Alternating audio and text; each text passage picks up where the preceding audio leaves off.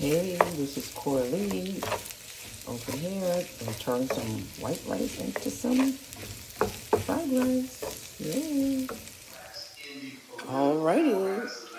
When you do it at home, your fried rice, you can put whatever you want. I put corn and spinach.